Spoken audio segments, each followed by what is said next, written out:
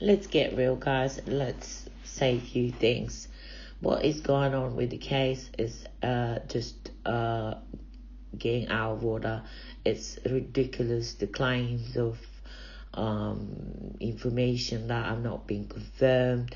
It's ridiculous that uh, some are making money on, on the expense of the victims. Um, either that be ex-employees to a restaurant, whoever that is, um, giving up stories, selling up stories that are unfounded, untrue, or you know, even if true, then there is uh, claims that information come out from investigators. This was found. It comes from one of the investigators.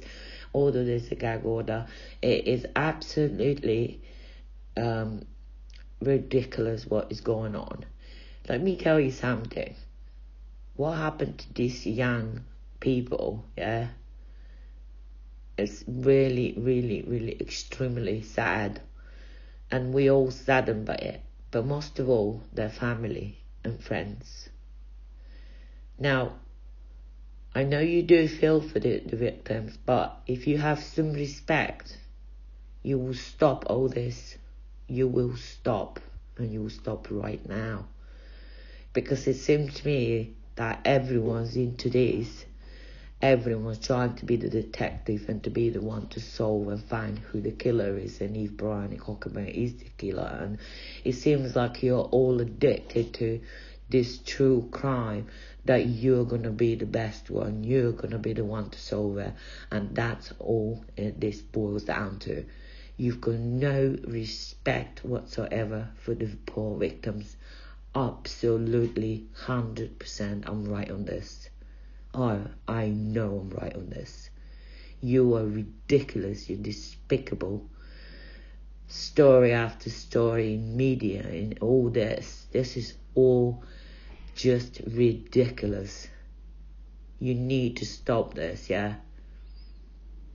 At this rate, at this rate, even if you did commit the murders, it would be very hard for to find a jury to, stamp to start with yeah, it would be hard to convict him. It would be hard to find him guilty under the circumstances, yeah.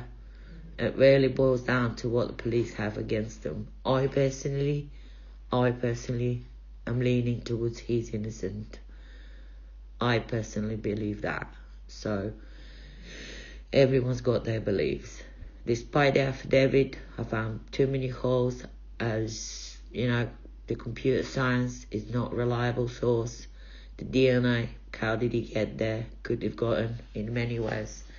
I don't see no proof in the affidavit that he entered the house and linking him to each and every victim's murder. So I'm asking you to cut it out. Stop. Move on. Do something productive.